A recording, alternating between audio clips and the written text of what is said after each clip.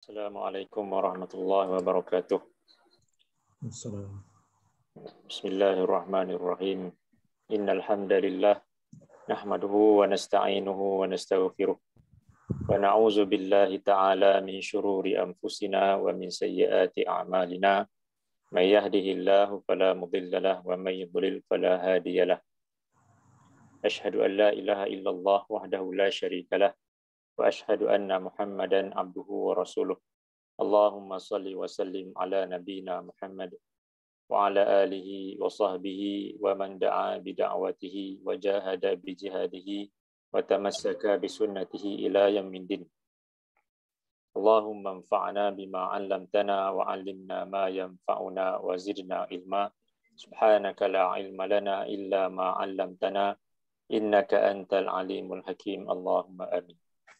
Alhamdulillah kita bersyukur kepada Allah Subhanahu Wa Taala masih diberikan kesihatan dan kesempatan masa untuk kita sama-sama bertemu di sini pada pagi ini dalam kelas uh, hadis mingguan secara online ini. Baik, uh, insya-Allah pagi ini kita akan melihat sebuah hadis yang yang baru yang minggu yang lepas kita dah habiskan berkenaan dengan uh, hijrah. Pada kali ini insya-Allah kita akan melihat Uh, satu hadis yang baru itu berkenaan dengan uh, umur. Kita lihat uh, hadis ini. An Abdurrahman bin Abi Bakrah an abihi anna rajulan qal Ya Rasulullah ayyun nasi khair qal man tala umruhu wa hasuna amaluhu qala فأي Nasi شر؟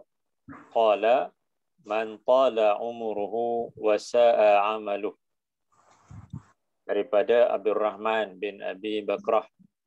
Daripada bapanya bahwasanya seorang lelaki ah, berkata atau bertanya kepada Nabi sallallahu alaihi wasallam ah, katanya ya Rasulullah wahai Rasulullah ayyun nasi khair? Siapakah manusia yang paling baik? Qala man tala umuruhu wa hasuna amaluhu. Lalu jawab baginda, ah, seorang yang paling baik ialah seorang yang panjang umurnya dan baik pula amalannya. Qala fa ayyun nasi syar? Kemudian lelaki tersebut bertanya lagi kepada Nabi sallallahu alaihi wasallam, ah, siapakah pula manusia yang paling buruk? Qala man tala umuruhu wa sa'a amaluhu. Kemudian jawab baginda, siapa yang panjang umurnya ah, dan buruk pula amalannya. Ah, dalam hadis ini, ah, Nabi ditanya tentang siapakah manusia yang paling baik. Kalau kita perhatikan, ada beberapa lagi hadis yang berkenaan dengan pertanyaan yang lebih kurang sama dengan yang kita baca dalam hadis ini.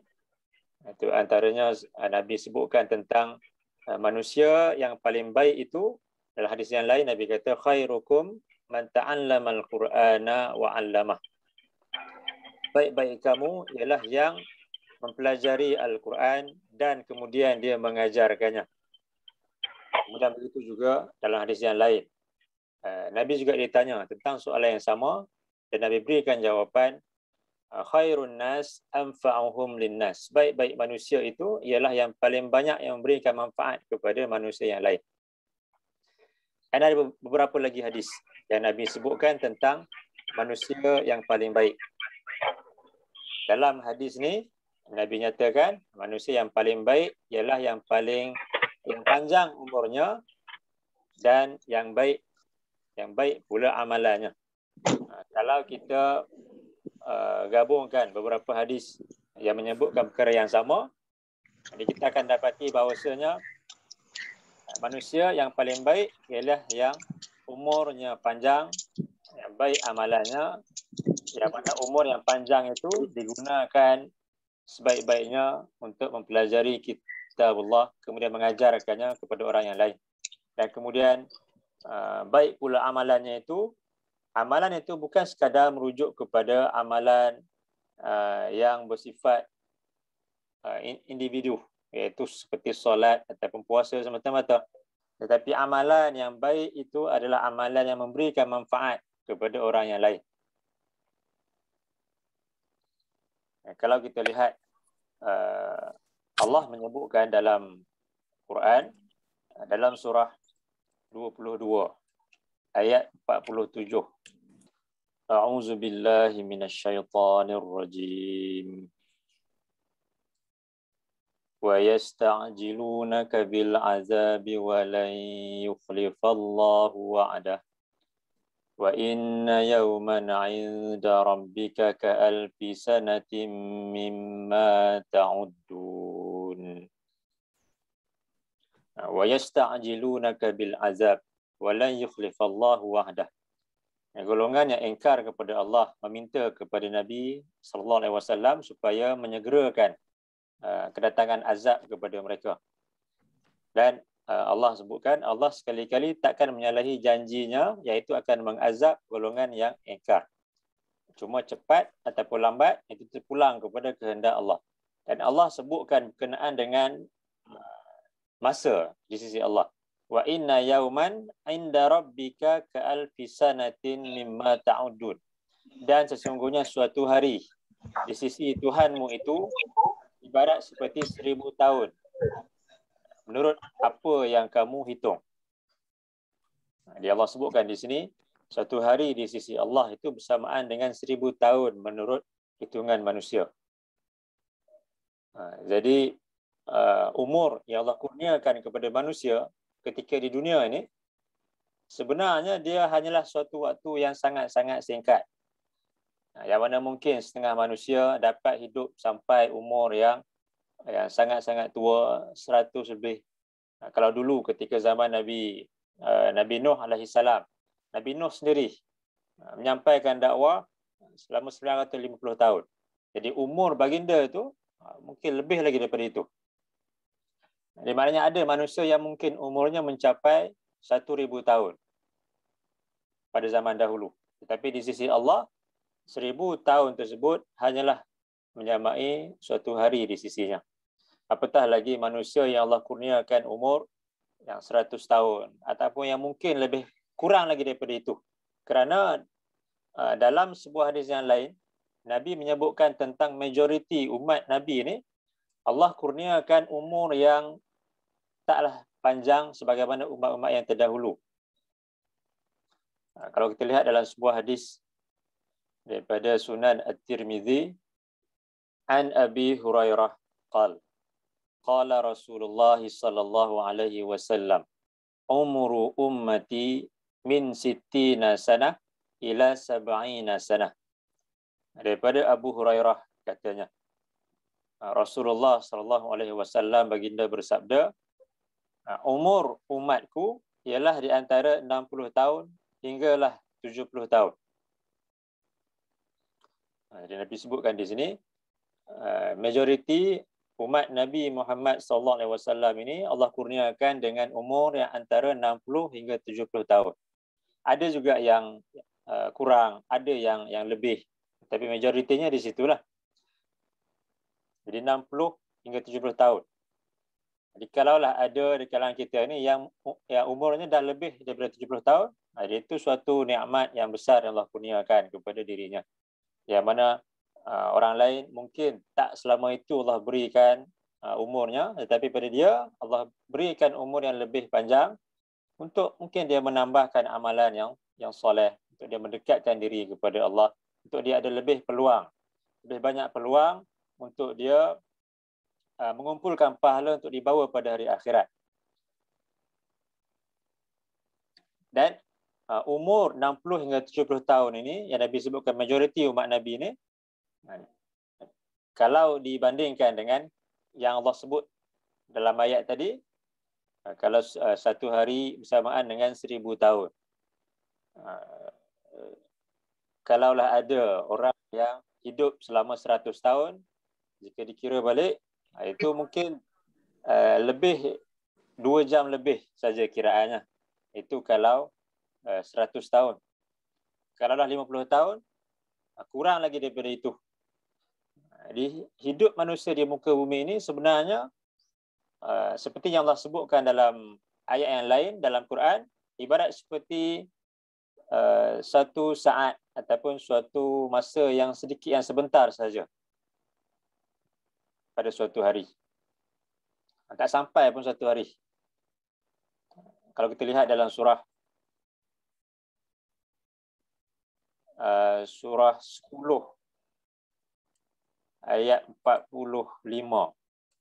A'udzu billahi minasyaitonir rajim.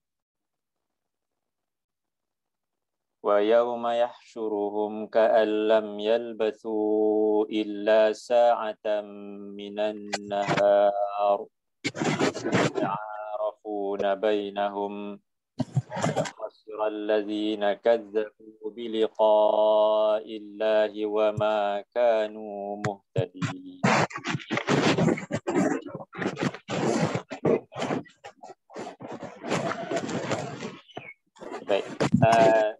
Siapa yang onkan mic tu boleh offkan dulu mic. Wa yawma yahsyuruhum ka'allam yalbasu illa sa'atan minan nahar. Dan pada hari Allah menghimpunkan mereka dan ketika itu uh, mereka merasakan yang hidup mereka ketika di dunia dahulu uh, hanyalah sekadar uh, sa'atan minan nahar. Sekadar suatu saat, suatu waktu yang yang singkat daripada waktu siang sejam ataupun mungkin dua jam. Yata'arafuna bainahum. Dan ketika itu mereka saling kenal mengenali di antara mereka. Qad khasira allazina kazzabu bi liqa'illah. Benar-benar telah rugilah orang-orang yang mereka mendustakan pertemuan dengan Allah. Wa ma kanu muhtadin. Dan tidaklah mereka orang-orang yang mendapat petunjuk. Allah sebutkan di sini manusia ketika dibangkitkan nanti pada hari akhirat mereka merasakan bahawasanya hidup mereka ketika di dunia hanyalah sekadar uh, suatu masa yang sangat-sangat singkat. Suatu waktu ataupun suatu saat daripada waktu siang saja. Ha, kemudian dalam ayat yang lain Allah sebut dalam surah uh, 79 ayat 46 أعوذ بالله من الشيطان الرجيم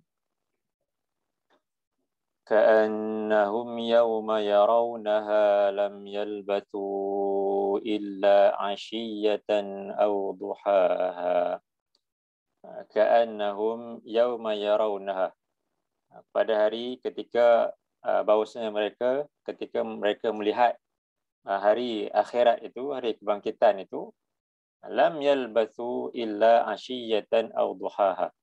Ha, mereka akan merasakan bahawasanya hidup mereka ketika di dunia dahulu uh, tidak lain uh, hanyalah sekadar suatu waktu daripada waktu petang ataupun suatu waktu satu ketika daripada waktu pagi saja. Jadi ayat-ayat ini menggambarkan bahawasanya umur yang Allah berikan kepada manusia itu sangat-sangat singkat walaupun mungkin ada di antara kita yang merasakan uh, dia hidup dah, dah lama ataupun umurnya panjang. Tapi sebenarnya di sisi Allah ia suatu waktu yang sangat-sangat singkat.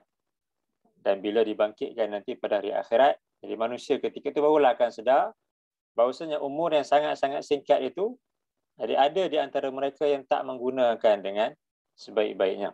Itu menggunakannya seperti yang disebutkan tadi manusia yang paling baik adalah manusia yang panjang umurnya dan baik pula amalannya. Ataupun manusia yang umur yang panjang itu digunakan untuk mempelajari kitabullah dan mengajarkannya kepada orang yang lain. Ataupun manusia yang umur yang panjang itu dia melakukan amalan yang dapat berikan manfaat kepada orang-orang yang lain. Dan kemudian kalau kita uh, lihat lagi dalam uh, Quran, Allah menyebutkan tentang uh, ada golongan manusia yang pada hari akhirat nanti mereka akan menyesal uh, dengan umur yang panjang yang Allah berikan kepada mereka ketika di dunia yang yang mana mereka tak gunakan dengan sebaik-baiknya. Allah sebut dalam surah uh, 32 ayat yang ke-12. أعوذ بالله من الشيطان الرجيم. ولو ترى إذ المجرمون ناكسوا رؤوسهم عند ربهم ربنا أبصرنا وسمعنا فارجعنا نعمل صالحا فرجعنا نعمل صالحا إنا موقنون. Ha, walau tara izil mujrimuna nakisu ru'usihim inda rabbihim. Dan kalaulah engkau wahai Muhammad engkau melihat uh, keadaan golongan yang melakukan dosa ataupun jenayah itu yang mana ketika itu mereka menundukkan kepala-kepala mereka di sisi Tuhan mereka dan uh, mereka merayu kepada Allah Rabbana absarna wa sami'na farji'na na'mal salihan. Wahai Tuhan kami kami telah melihat Uh, keadaan hari akhirat ini dan kami juga telah uh, mendengar dengan sebaik-baiknya farja'na na'mal salihan. Maka kembalikanlah kami ke dunia supaya kami dapat untuk melakukan amalan yang soleh inna muqinun. Sungguhnya kami ketika ini adalah orang-orang yang yakin jadi ini keadaan golongan yang engkar kepada Allah yang mana sebahagian daripada mereka tidak meyakini adanya hari akhirat atau hari kebangkitan.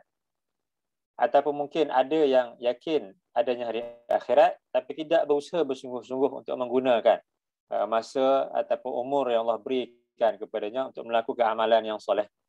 Jadi ketika dibangkitkan nanti pada hari akhirat, uh, mereka akan menyesal dan merayu kepada Allah supaya dikembalikan balik ke dunia, diberikan peluang untuk melakukan amalan yang soleh.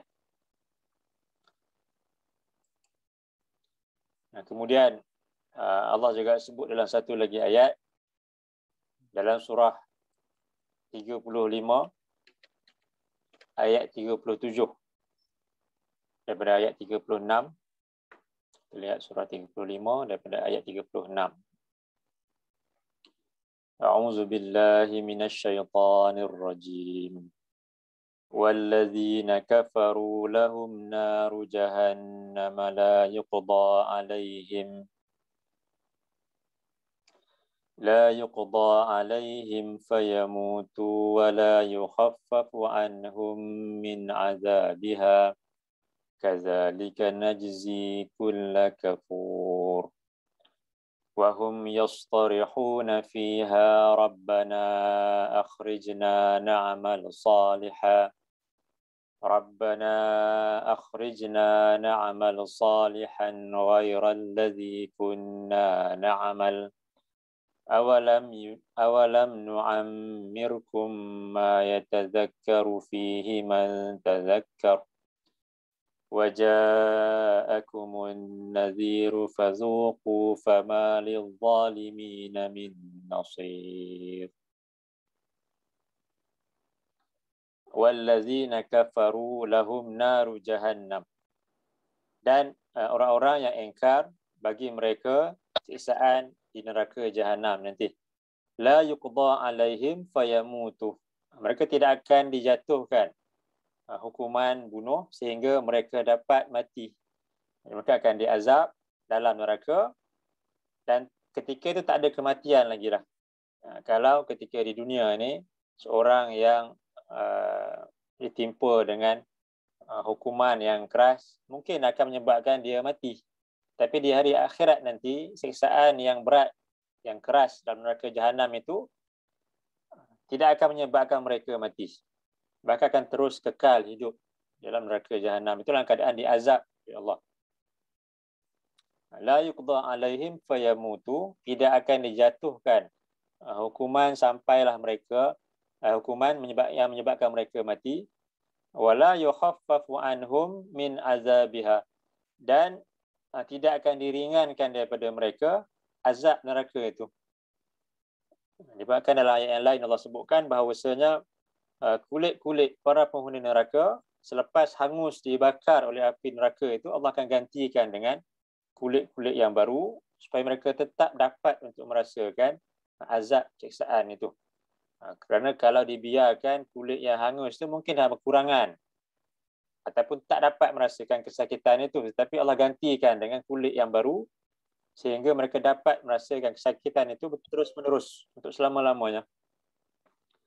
Kazalika najzi kulla kafur. Demikian itulah balasan kami berikan balasan kepada setiap orang yang sangat-sangat ingkar kepada Allah. Wahum yastarihuna fiha. Dan mereka menjerit-jerit dalam neraka nanti. Rabbana akhrijna na'mal salihah. Dan mereka uh, merayu kepada Allah, wahai Tuhan kami, keluarkanlah kami daripada neraka ini supaya kami dapat untuk melakukan amalan yang soleh. Ghairal ladzi kunna na'mal yang uh, tak sama dengan apa yang dulu telah kami lakukan. Jadi mereka mohon supaya diberikan peluang yang kedua, dikembalikan ke dunia. Uh, disebabkan kali yang pertama dulu, ketika Allah berikan peluang kepada mereka, uh, mereka tak menggunakan dengan sebaik-baiknya. Tapi sebaliknya, mereka menggunakan umur ataupun peluang kesempatan yang Allah berikan untuk melakukan bukan amalan yang soleh iaitu amalan uh, dosa atau maksiat kepada Allah. Awalam nu'ammirkum ma yatazakkaru fihi man tazakkar. Dan Allah akan uh, menjawab rayuan atau permintaan mereka itu. Bukankah kami telah memberikan umur yang panjang kepada kamu sehingga sepatutnya kamu dapat untuk menggunakan untuk uh, mengambil pengajaran daripada ayat-ayat Allah mengambil peringatan daripada ayat-ayat Allah itu. Man tazakkar kepada siapa yang dia nak ambil peringatan atau pengajaran. Waja'akumun nazir dan telah datang kepada kamu pemberi ancaman.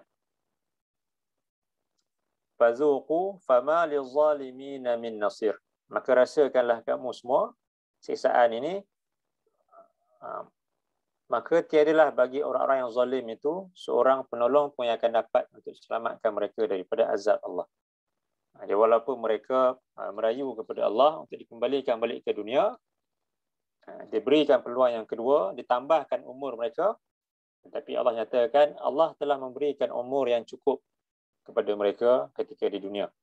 Sepatutnya kalaulah mereka nak ambil pengajaran, ambil peringatan daripada ayat-ayat Allah, yakin kepada hari akhirat, tentulah mereka sempat ada masa yang secukupnya.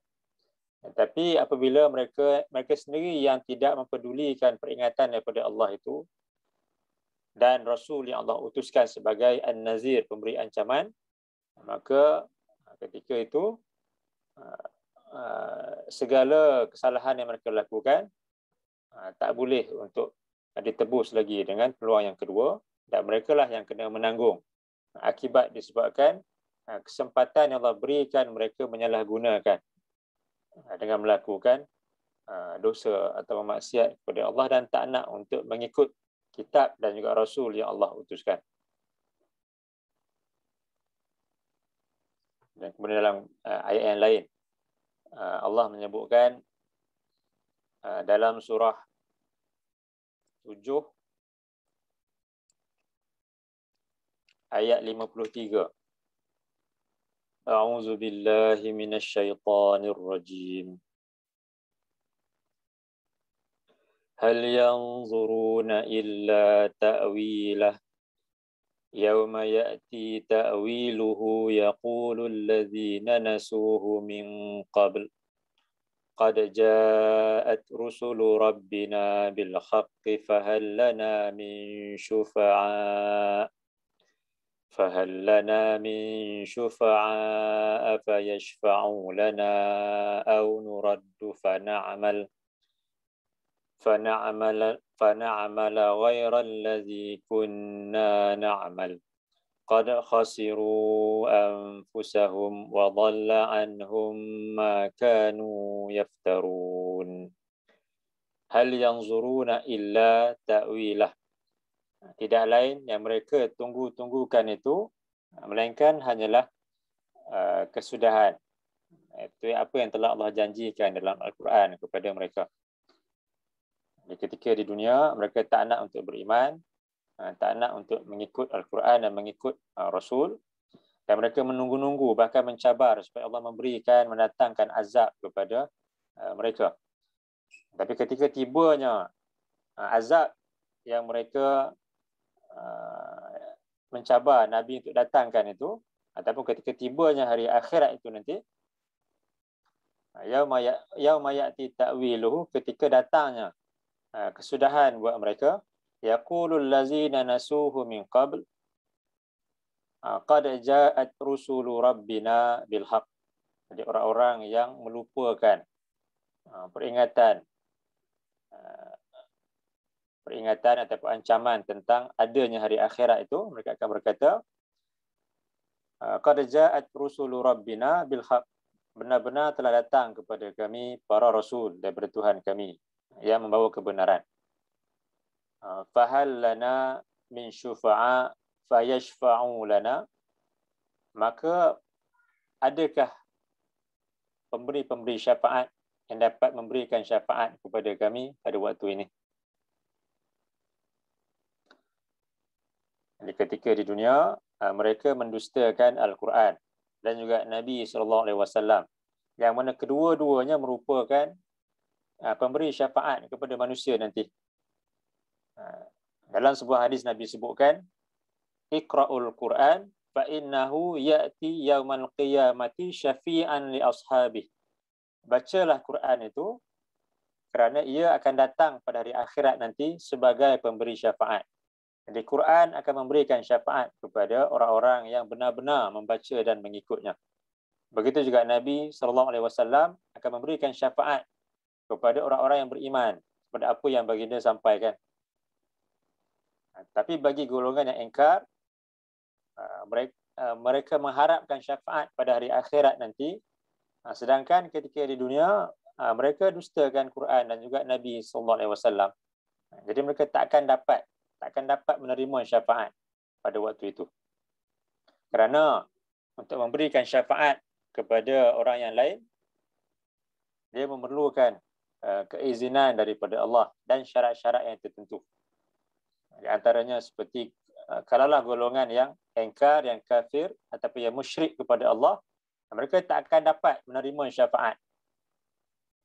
Walaupun mungkin uh, ibu ataupun ayah yang Uh, kafir ataupun yang musyrik walaupun dia ada anak yang soleh sekalipun anak yang soleh tetap tak akan dapat untuk memberikan manfaat kepada dirinya pada hari akhirat kelak uh, kerana syafaat itu fungsinya sebagai suatu yang uh, yang mencukupkan untuk menolong seorang itu jika dia sendiri ada asas amalannya itu.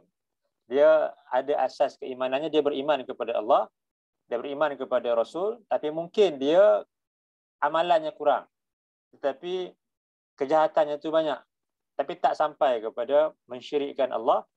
Ha, jadi ketika itu dia memerlukan syafaat daripada Nabi daripada Al-Quran daripada orang-orang yang yang soleh yang Allah berikan keizinan kepada mereka jadi syafaat hanya untuk mencukupkan suatu yang telah ada itu amalan yang ada tapi tak cukup, ha, di ketika itu syafaat akan memberi, akan membantu orang-orang yang sebegini. Tapi kalaulah seorang itu orang yang kafir, yang musyrik kepada Allah, maka dia tak akan dapat ha, syafaat pada hari akhirat. Walaupun dia ada anak yang soleh sekalipun, ha, ini yang berlaku kepada Abu Talib. Walaupun baginda, eh, walaupun Abu Talib itu seorang yang sangat-sangat sayangkan Nabi dan banyak berkorban untuk membantu Nabi tetapi uh, pada hari akhirat nanti uh, beliau tak akan dapat selamat daripada uh, azab neraka Allah itu cuma Allah berikan rahmat dengan meringankan memberikan uh, siksaan yang paling ringan kepada Abu Talib tapi tetap juga akan disiksa di dalam neraka untuk selama-lamanya berbeza dengan golongan yang beriman kepada Allah jika dosanya banyak Ha, sebahagiannya ada yang akan diazab dalam neraka tapi kemudian disebabkan rahmat daripada Allah masih ada peluang untuk masuk ke dalam syurga. Dan ada juga golongan yang uh, Allah berikan keizinan untuk syafaat disampaikan kepadanya jadi dia dimasukkan ke syurga dan tanpa dia diazab dalam neraka disebabkan bantuan daripada syafaat itu. Ha, jadi golongan yang engkar pada hari akhirat, mereka juga mengharapkan syafaat diberikan kepada mereka. Ha, tetapi ha, syafaat takkan dapat membantu mereka pada hari akhirat nanti. Dan kemudian mereka minta supaya dikembalikan ke dunia.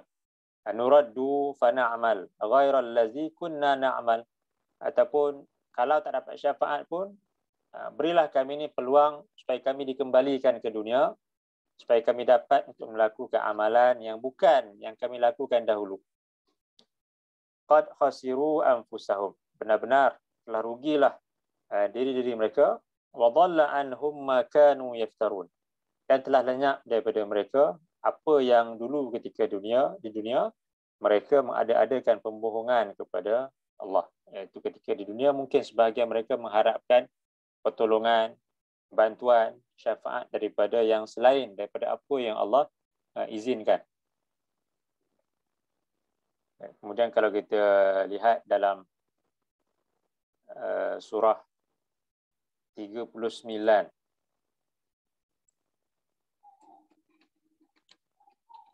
آية ayat 55. أعوذ بالله من الشيطان الرجيم واتبعوا أحسن ما أنزل إليكم من ربكم من قبل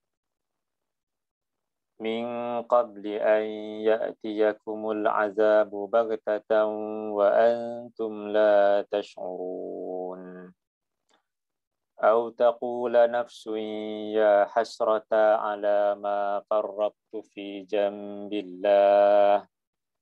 وإن كنت لمن الساخرين. أو تقول لو أن الله هداني لكنت من المتقين. أو تقول حين ترى العذاب لو أن لي كرة فأكون من المحسنين. بلى قد جاءتك آياتي فكذبت بها فكذبت بها واستكبرت وكنت من الكافرين.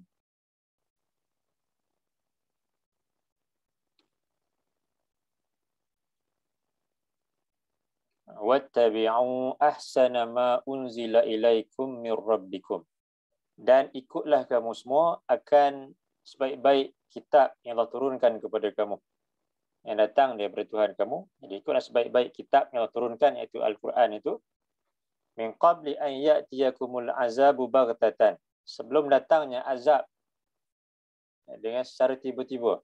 Wa antum la tash'urun. Sedangkan kamu tidak menyadari kedatangan azab itu. Jadi perintah Allah kepada kita di sini adalah supaya kita ni mengikut uh, Al-Quran kitab yang Allah turunkan supaya uh, kesempatan yang ada tu kita gunakan dengan sebaik-baiknya. Janganlah bila datangnya azab, ha, ketika itu barulah nak beriman, jadi mungkinlah terlambat. Jadi azab di sini ha, dia merujuk kepada uh, azab yang Allah turunkan kepada golongan yang uh, engkar yang mana Allah binasakan mereka ataupun juga merujuk kepada kematian yang datang dengan uh, mengejut.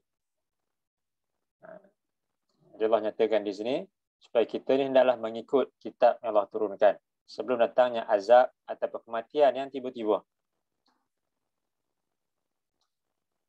An taqula nafsun ya hasrata ala ma farrattu fi jambillah. Supaya nanti uh, seorang daripada kamu tidak mengatakan ha, alangkah celakanya ataupun alangkah ruginya aku di atas kesempatan yang telah aku cuaikan. Kewajipan-kewajipan yang ketika aku ada kesempatan aku cuaikan. Wa in kuntu laminas sakhirin dan sesung dan uh, aku ini termasuk di kalangan orang-orang yang memperolok-olokkan. Uh, tidak mengambil berat segala perintah Allah itu. au taqula law anna Allah hadani lakuntu minal muttaqin ataupun dia akan berkata nanti, ha, kalaulah Allah memberikan hidayah kepadaku, tentu aku akan termasuk di kalangan orang-orang yang bertakwa. Atau taqula hina taral azab law anna li karratan fa akuna minal muhsinin. Ataupun ketika dia akan mengatakan ketika dia melihat azab neraka itu law anna li karratan fa akuna minal muhsinin. Kalaulah aku ini ada kesempatan, tentulah aku akan termasuk di kalangan orang-orang yang melakukan kebaikan. Bala qad ja'atka ayati fakazzabta biha. Di segala kata-kata mereka, ha, kalaulah ha, diberikan kesempatan, ha, tentu mereka ini akan menjadi golongan yang bertakwa kepada Allah ataupun golongan yang melakukan kebaikan muhsinin. Jadi segala penyesalan mereka ketika itu Allah menolak kesemuanya. Dan Allah menyatakan qad bala qad ja'atka ayati bahkan uh, tidak segala segala penyesalan dan kata-kata kamu ketika ini uh, tidak lagi berguna kerana benar-benar telah datang kepada kamu ayat-ayat daripadaku. Fakazzabta biha. Lalu engkau telah mendustakannya. Wastakbarta dan engkau menyombongkan diri. Wa kunta minal kafirin. Dan engkau termasuk di kalangan orang-orang yang engkar. Jadi walaupun mereka ha, menyesal dari akhirat, tetapi penyesalan mereka itu Allah nyatakan tak berguna lagi kerana kalau dikembalikan balik ke dunia sekalipun, mereka tetap juga akan mengulangi perkara yang sama, iaitu masih lagi akan engkar kepada Allah. Jadi Allah tahu apa yang akan berlaku kepada mereka. Jadi disebabkan itulah Allah tidak berikan kesempatan kepada mereka untuk mereka kembali balik ha, ke dunia.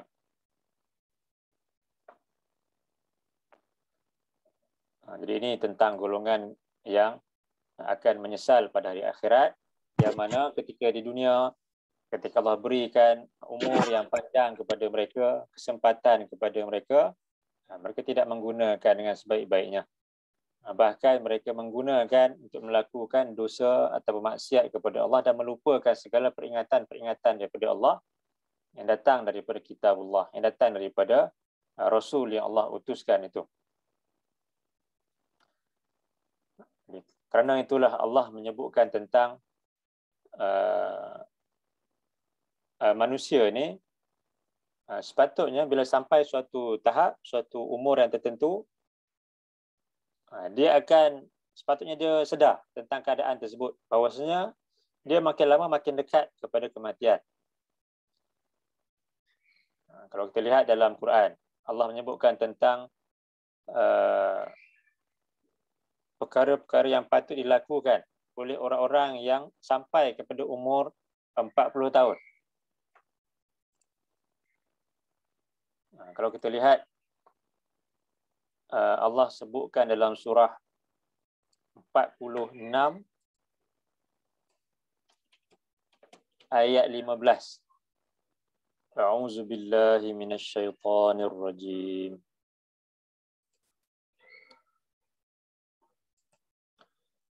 ووصينا الإنسان بوالديه إحسانا. حملته أمه كرها ووضعته كرها.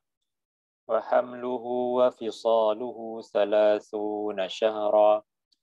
حتى إذا بلغ أشده وبلغ أربعين سنة.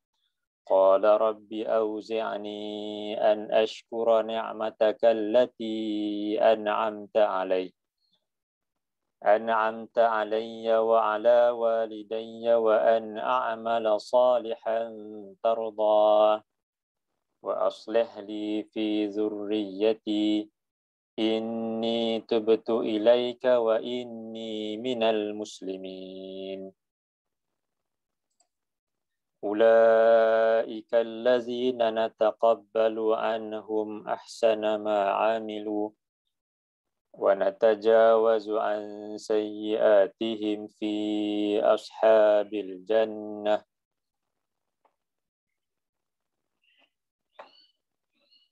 وعد الصدق الذي كانوا يوعدون. فوصينا الإنسان بوالديه إحسانا dan kami telah mewasiatkan telah memerintahkan kepada manusia supaya dia berbuat baik kepada kedua ibu bapa dengan sebaik-baik kebaikan hamalat ummuhu kurhan wa wada'at kurhan ibunya telah mengandungkannya dengan penuh susah payah dan melahirkannya juga dengan penuh susah payah. Wa fisaluhu salasuna syahra. Dia mengandungkannya dan kemudian sampai kepada uh, tempoh bercerai susunya salasuna syahra itu selama 30 bulan. Hatta iza balagha ashuddahu wa balagha arba'ina sanah. Sehinggalah apabila Uh, manusia itu telah sampai kepada uh, umur dewasanya wa balagha arba'ina sanah dan telah sampai kepada umur 40 tahun. Jadi Allah sebutkan di sini umur 40 tahun. Jadi, kalau kita perhatikan uh, Nabi sallallahu alaihi wasallam dilantik menjadi rasul pada umur 40 tahun. Dan kata sebahagian daripada golongan salafus salih ramai juga nabi yang lain ni Allah lantik ketika mereka ini berumur 40 tahun. Kerana umur 40 tahun itu merupakan uh, umur yang sepatutnya manusia tu dia telah uh, capai suatu waktu yang puncak dalam hidup dia. Yang mana kalaulah waktu umur 40 tahun itu dia tetap juga uh, uh, melakukan dosa atau maksiat kepada Allah, dia kemungkinan besar dia akan berterusan sampailah ke hujung nyawa dia. Disebabkan itu Allah sebut secara khusus umur 40 tahun ini. Kerana sepatutnya uh, umur 40 tahun ini merupakan suatu umur yang uh, di mana kematangan itu telah sempurna. Kemudian dari segi dunia itu manusia itu pun telah cukup segala-galanya. Dan umur 40 tahun ini adanya masih lagi ada ibu bapa yang perlu dibuat baik kepada mereka dan juga ada anak-anak yang perlu dididik dengan baik. Jadi 40 tahun ini merupakan umur yang yang penting. Yang mana kalaulah manusia masih lagi tidak berubah ketika umur 40 tahun ini, maka kemungkinan besar dia akan berterusan sebegitu sampailah di akhir hayatnya. Dan tak dinafikan ada sebahagian manusia yang uh, dia berubah ketika umurnya mungkin 50 tahun, 60 tahun. Uh, tapi tak ramai yang dapat berubah ketika telah sampai umur yang sebegitu. Majoritinya uh, sampai 40 tahun tak berubah akan, akan kekal sebegitu sampailah akhir hayatnya. Kalaulah dia ketika muda dia dia telah dididik dengan baik beriman kepada Allah sampai umur 40 tahun uh, insya-Allah dia akan kekal dalam keadaan yang baik itu sampailah uh, hujung hayat dia. Dan begitu juga kalaulah golongan yang engkar kepada Allah melakukan banyak melakukan dosa dan juga maksiat sebelum umur 40 sampai umur 40 pun masih lagi berterusan melakukannya. Jadi kemungkinan besar dia akan berterusan sebegitu sampailah di hujung uh, nyawanya itu. Dia Allah sebutkan uh, manusia uh, yang telah sampai umur 40 tahun kemudian dia berdoa kepada Allah qala rabbi auzi'ni an ashkura ni'mataka allati an'amta alai wahai tuhanku uh, kurniakanlah kepadaku taufik supaya aku dapat untuk uh, bersyukur kepada uh, nikmat yang kau kurniakan kepadaku. Wa ala walidai. Dan uh, nikmat yang kau kurniakan kepada kedua ibu dan bapa aku wa an a'mala salihan tardah dan uh, supaya aku dapat untuk melakukan amalan yang soleh yang engkau redai. Wa aslih li fi zurriyyati dan perbaikilah bagiku pada zuriat keturunanku. Ini tebetu ilaik. Sesungguhnya aku bertaubat kepadamu. Wa inni minal muslimin. Dan sesungguhnya aku ini termasuk di kalangan orang-orang yang muslim. Jadi ini ini Sepatutnya orang-orang yang dah sampai umur 40 tahun ataupun mungkin lebih lagi daripada itu, itu sebenarnya dah menghampiri kepada uh, waktu yang Nabi sebut dalam hadis tadi, kebanyakan umat Nabi umurnya 60 hingga 70 tahun. Jadi ketika sampai umur 40 tahun, itu dah menuju, dah uh, dah hampir sampai kepada penghujung hayatnya itu. Jadi sebab itu, itu umur yang uh, manusia perlu uh, perhatikan dengan sebaik-baiknya dan ketika itu kena ingat bahawasanya uh, segala tanggungjawab yang telah dia cuaikan sebelum itu dia kena bertaubat uh, sebelum sampai kepada kematian yang mungkin akan datang tiba-tiba. Tapi ini tidaklah bermakna golongan yang tak sampai umur 40 tahun tak perlu ambil berat. Kerana uh, kematian itu akan datang bila-bila masa. Hatta kepada orang yang muda sekalipun, mungkin 20 tahun, bahkan mungkin baru je balik dah meninggal dunia pun ada 20 tahun, 30 tahun. Tetapi umur 40 tahun ni, ha, dia suatu umur yang kira yang paling lewat lah. Kalau nak berubah, ha, itulah waktu yang terakhir untuk berubah. Dan kemudian Allah sebutkan dalam ayat yang seterusnya, Ulaika allazina nataqabbalu anhum ahsana ma amilu. Mereka itulah orang-orang yang kami terima daripada mereka segala kebaikan yang mereka kerjakan wa natajawazu an sayyiatihim fi ashabil jannah. Dan uh, kami akan ampunkan segala dosa-dosa kesalahan mereka dan akan masukkan mereka ke dalam uh, kumpulan ahli syurga. Wa'da sidqil ladzi kanu yu'adun. Dan ini semua merupakan suatu janji yang benar yang Allah akan sempurnakan kepada mereka itu akan memasukkan golongan yang uh, melakukan amalan yang soleh ke dalam syurga itu. Jadi orang-orang yang beriman bila membaca ayat-ayat Allah khususnya ayat yang ke-15 ini uh, tak kisahlah sama ada yang berumur 40 tahun ke ataupun yang muda lagi daripada itu ataupun yang mungkin yang dah lebih daripada 40 tahun dia mesti sedar sesungguhnya uh, umur yang Allah kurniakan kepadanya uh, sepatutnya digunakan dengan sebaik-baiknya. Jangan tunggu sampai umur 40 baru nak melakukan perubahan. Tapi sebaliknya, uh, perubahan tersebut ke arah yang lebih baik seperti yang tersebut dalam kelas-kelas sebelum ini berkenaan dengan hijrah. Itu hijrah meninggalkan perkara yang dilarang oleh Allah, itu perlu disegerakan. Tak kira lah berapa sekalipun umur seorang itu, kerana kematian akan datang tiba-tiba tanpa kita sedar, tanpa kita tahu bilakah waktu yang uh, tepat datangnya kematian itu.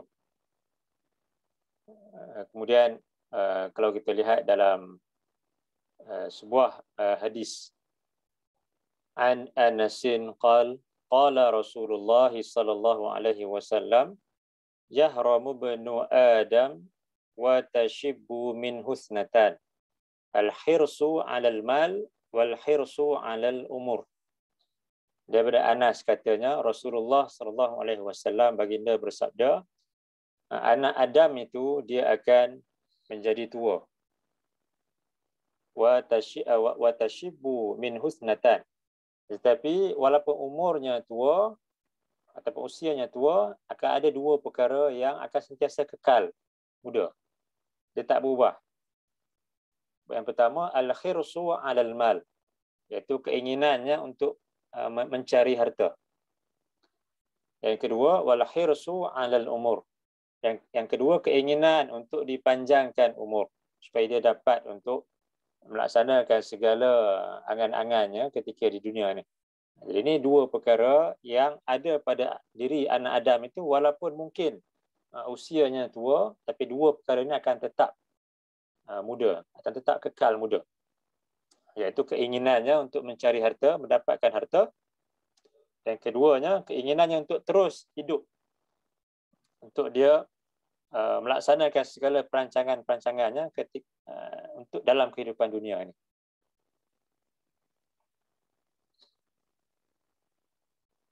Jadi bagi uh, orang-orang yang beriman ini ini merupakan suatu fitrah lah fitrah yang ada pada diri anak Adam walaupun dia orang yang beriman sekalipun, dia akan ada uh, keinginan untuk mengumpulkan harta yang yang banyak dan juga uh, keinginan untuk hidup lama. Ini bukanlah suatu perkara yang tercela. Jika harta yang banyak, keinginan untuk mengumpulkan harta, tujuannya untuk mengumpulkan pahala pada hari akhirat, jadi ini bukanlah perkara yang tercela. Bahkan disuruh uh, oleh Allah, diperintahkan uh, oleh Allah dan begitu juga yang ditunjukkan oleh Nabi SAW. Uh, begitu juga umur yang panjang pun sama juga. Kalau digunakan dengan sebaik-baiknya, melakukan ketaatan kepada Allah, berikan manfaat kepada orang yang lain. Jadi itu bukanlah suatu perkara yang tercela jika kita nakkan uh, harta yang banyak ataupun umur yang panjang itu.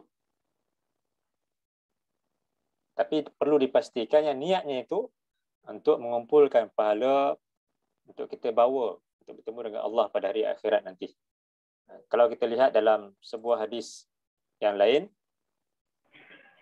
حدثنا أنس قال كان النبي صلى الله عليه وسلم يدخل علينا أهل البيت فدخل يوما فدعا لنا فقالت أم سليم huwaidi muka ala tad'u lahu? Qala allahumma aksir ma lahu wa waladahu wa atil hayatahu wa ghafir lahu. Di Anas mengatakan uh, katanya adalah Nabi sallallahu alaihi wasallam masuk menemui kami. Iaitu uh, Anas dan juga keluarganya. Dan kemudian uh, ibu kepada Anas iaitu Ummu Sulaim mengatakan wahai uh, Rasulullah ini Anas ini uh, dia hendak menjadi khadam kepadamu. Doakanlah untuknya. Kemudian kata Nabi sallallahu alaihi wasallam, Nabi berdoa kepada Allah untuk Anas, Allahumma akthir malahu wa waladahu. Ya Allah, perbanyakkanlah hartanya dan anak-anaknya wa atil hayatahu dan panjangkanlah umurnya wa ghfir lahu dan berikanlah keampunan kepadanya. Kita lihat di sini doa Uh, Nabi buat Anas supaya Allah memperbanyakkan hartanya dan juga anak-anaknya dan juga memanjangkan umurnya. Dan kemudian di akhir doa tersebut, Nabi mohon supaya Allah uh, berikan keampunan kepadanya. Jadi untuk kita berdoa kepada Allah supaya dipanjangkan umur, diberikan harta yang banyak, diramaikan anak-anak, itu bukanlah suatu kesalahan ataupun suatu yang tercela. Nabi doakan untuk Anas. Cuma kita kena ingat uh, apa tujuan kita minta itu adakah untuk uh, kehidupan dunia kita? Uh, jadi kalau untuk kehidupan dunia itulah yang tercela. Tapi kalau kita minta supaya dikurniakan harta yang banyak, anak-anak yang ramai, umur yang panjang supaya dapat digunakan sebaik-baiknya mengumpulkan pahala, maka itu merupakan suatu doa yang Nabi doakan kepada Anas. Dan satu lagi uh, matan yang lain ini berkenaan dengan doa Nabi kepada Anas juga cuma ada sedikit perbezaan dalam uh, matan hadis ini An Anasin radhiyallahu an qal qalat ummi ya Rasulullah khadimuka Anas ud'u Allah lahu. Qala Allahumma akthir ma lahu wa waladahu wa barik lahu fi ma a'taitahu daripada Anas radhiyallahu an katanya uh, ibuku berkata wahai Rasulullah ini Anas dia hendak menjadi khadam kepadamu. Ud'u Allah lahu maka doalah kepada Allah untuknya.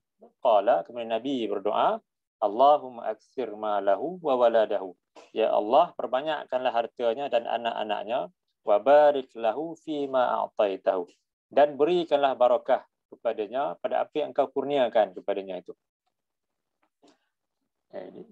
dalam matan yang kedua ini, Nabi doakan untuk Anas supaya Allah berikan harta yang banyak, anak-anak yang ramai. Dan supaya Allah berikan keberkatan kepada uh, kurniaan Allah itu. Baik. Jadi kita kembali kepada uh, hadis yang utama yang kita baca pada pagi ini.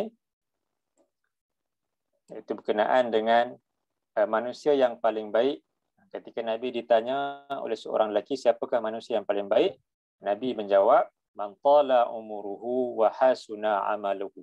Siapa yang panjang umurnya dan baik pula amalannya. Manakala siapakah manusia yang paling jahat, yang paling buruk? Nabi Nabi menjawab, man tala umuruhu wa sa'a amaluhu. Siapa yang panjang umurnya tapi buruk pula amalannya. Baik. Jadi insya-Allah setakat itu dulu untuk pagi ini. Jadi sebelum kita akhiri ada apa-apa?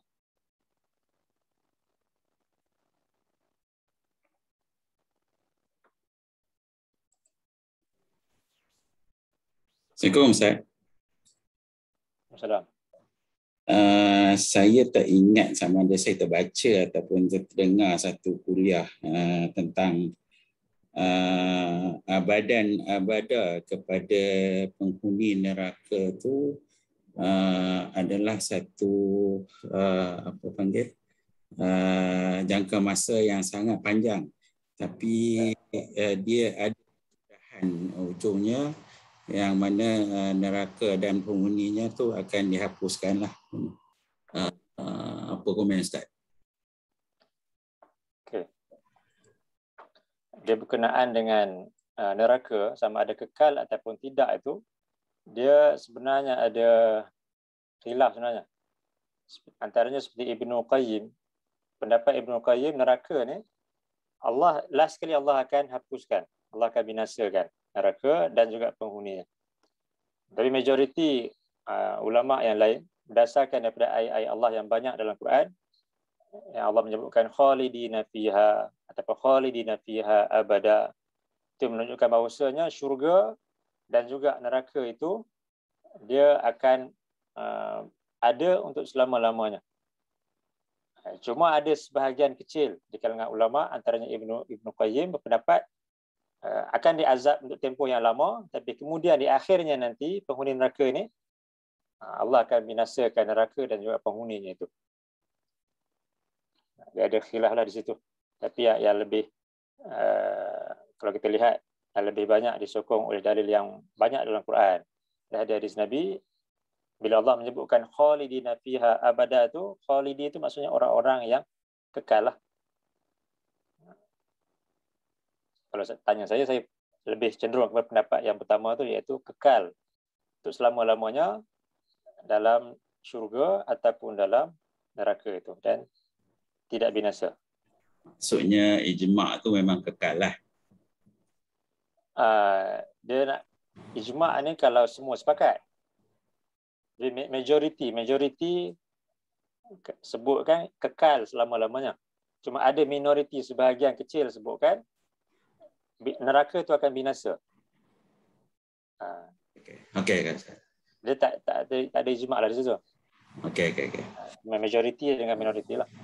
Uh, okey, kemudian satu lagi Ustaz uh, tentang uh, siang dan malam ni. Uh, ada petunjuk ke apa maksud siang dan malam ni di akhirat nanti? Ya macam mana? Uh, disebut macam uh, satu uh, seribu tahun di dunia bersamaan dengan satu hari di akhir. So jadi apa konsep uh, sehari di akhirat tu ada petunjuk tak? Ada siang dan malam ke macam mana ke?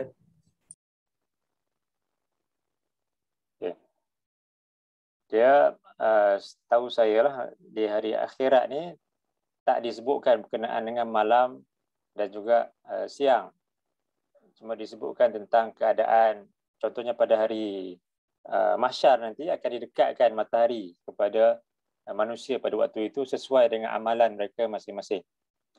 Uh, kemudian dalam syurga disebutkan tentang uh, uh, tak, tak tidak panas dan juga uh, tidak sejuk.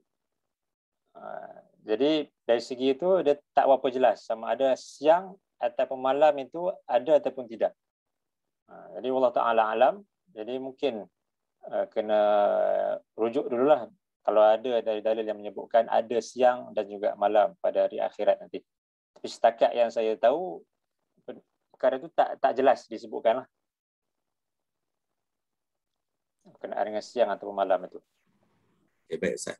Jazakallah. Oh, iya. Ada soalan dekat komen Ustaz? Salam Ustaz nak tanya Ustaz, Allah dah buktikan dan cakap yang dunia ni sangat singkat itu sementara. Jadi perlu ke kita berhijrah ke tempat yang lebih baik untuk fokuskan ibadah. Sebagai contoh, keluar dari KL balik ke kampung. Okey. Uh, bila kita sebutkan tentang uh, hijrah itu, jadi hijrah yang Allah perintahkan hijrah yang pertamanya hijrah meninggalkan secara fizikal lah suatu tempat tersebut seperti mana hijrah yang berlaku pada zaman Nabi daripada Mekah ke Habasyah, Mekah ke Madinah. Dan hijrah itu Allah perintahkan disebabkan umat Islam ketika di Mekah mereka ditindas. Uh, jadi untuk menjaga agama mereka dan juga nyawa mereka mereka kena tinggalkan Mekah untuk pergi ke uh, Yasrib, eh, pergi ke Yasrib, Madinah ataupun pergi ke uh, sebelum itu ke Habsyah tu. Tapi selepas Nabi berjaya bebaskan uh, bumi Makkah itu, Nabi kata la hijrata ba'dal fathi. Tiada lagi hijrah iaitu hijrah secara fizikal keluar daripada Mekah pergi ke Madinah. Tiada lagi hijrah selepas daripada pembukaan kota Mekah itu. Kerana kota Mekah telah berubah menjadi uh, negeri yang mana kaum muslimin bebas untuk mengamalkan agama bebas untuk taat kepada Allah. Jadi perintah hijrah untuk tinggalkan secara fizikal itu jika keadaan kita itu uh, menyebabkan kita ni makin jauh daripada Allah. Uh, suasana yang tak, tak membantu untuk kita dekat kepada Allah, untuk kita mempelajari kitab Allah. Jadi banyak halangan-halangan tertentu dan kita ada pilihan untuk pergi ke tempat yang lain yang lebih baik keadaannya. Jadi kalau keadaan kita sebegitu, jadi itu baiklah untuk kita tinggalkan tempat kita tu, kita pergi ke tempat yang lain yang lebih membantu untuk kita ni taat kepada Allah. Ha, cuma kalau kita nak kata daripada bandar nak balik ke kampung tu, itu subjektif lah untuk setiap orang. Ada orang yang bila balik kampung tu lebih teruk lagi keadaan dia. Mungkin pengaruh tu lebih buruk di kampung dan sebagainya. Jadi itu subjektif bergantung kepada seorang yang mana kalaulah keadaan dia ketika ini uh, menyebabkan dia makin jauh daripada Allah, tak boleh untuk susah untuk dia uh, taat kepada Allah melainkan dengan dia berhijrah ke tempat yang lain jadi ketika tu dia perlu untuk berhijrah lah. Tak kira lah sama ada daripada KL ke kampung ke kampung ke bandar ke itu terpulang kepada keadaannya yang mana yang lebih membantu untuk dia melakukan ibadah kepada Allah untuk dia taat kepada Allah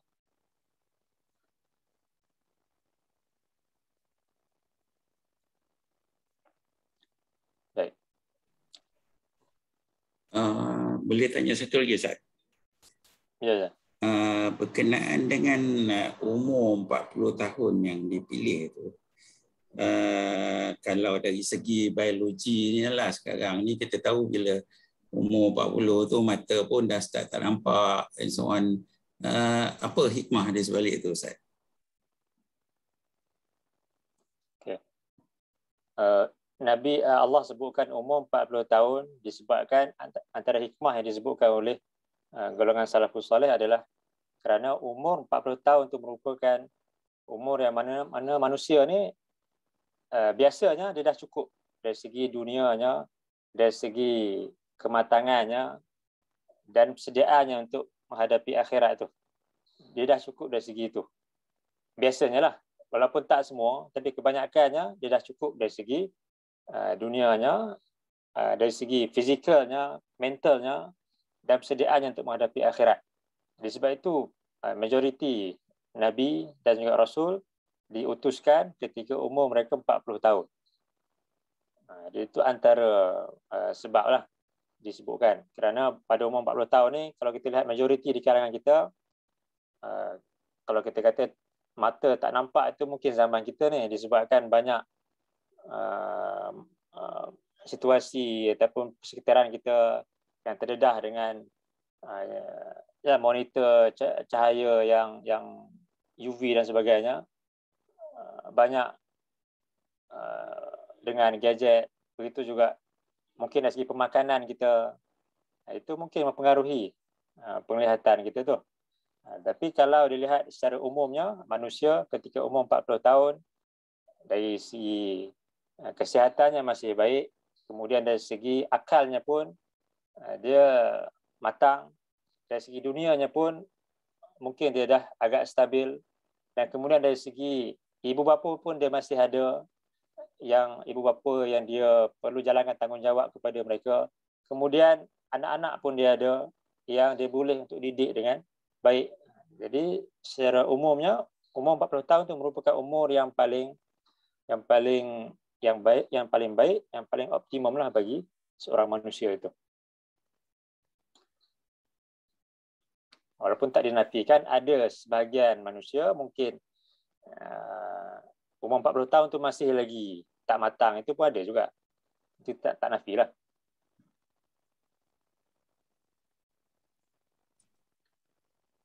Okey okey. Kemungkinan uh, biologi zaman tersebut tu berbeza dengan biologi zaman sekarang lah. Ya. Ha, sebab tu kita lihat antaranya seperti perkahwinan kan. Perkahwinan uh, zaman dulu zaman Nabi itu ada perkahwinan berlaku untuk kanak-kanak perempuan yang baru balik ke dah dikahwinkan. Begitu zaman tok nenek kita dulu. Di zaman kita ni dia dah berubah sedikit keadaannya.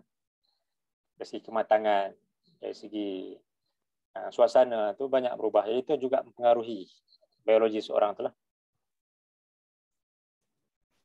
Baik, saya Ustaz. Baik, sama. Baik, uh, insyaAllah sekali itu dulu untuk pagi ini. Mudah-mudahan uh, dapat kita ambil sikit sebanyak manfaat daripada ayat-ayat yang kita baca tadi dan juga daripada uh, hadis-hadis yang kita lihat tadi. Dan mudah-mudahan Allah jadikan kita ini golongan yang uh, menggunakan umur yang Allah kurniakan ini dengan sebaik-baiknya. Uh, iaitu umur dan dipenuhi dengan amalan yang baik.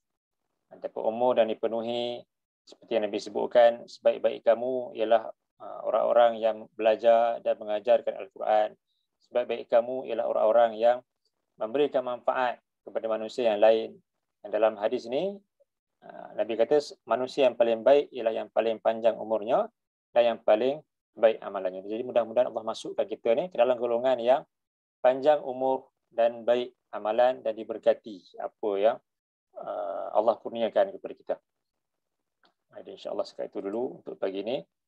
Aqulu qawli haza wa astaghfirullah al-azim li walakum. Allahumma ja'al haza jam'ana jam'an marhuma wa tafarruqana min ba'dihi tafarruqan ma'asuma. اللهم إنا نعوذ بك من البراس والجنون والجزام ومن سيء الأسقام. اللهم إنا نسألك علما نافعا ورزقا طيبا وعملا متقبلا. سبحانك اللهم وبحمدك أشهد أن لا إله إلا أنت أستغفرك وأتوب إليك. وصلى اللهم على نبينا محمد وعلى آله وصحبه وسلم. الحمد لله رب العالمين. اللهم آمين. السلام عليكم ورحمة الله وبركاته. وعليكم السلام. warahmatullahi wabarakatuh. Jazakallah khair.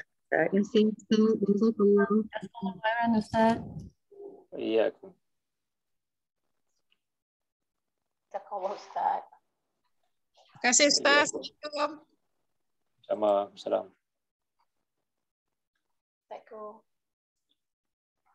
Assalamualaikum.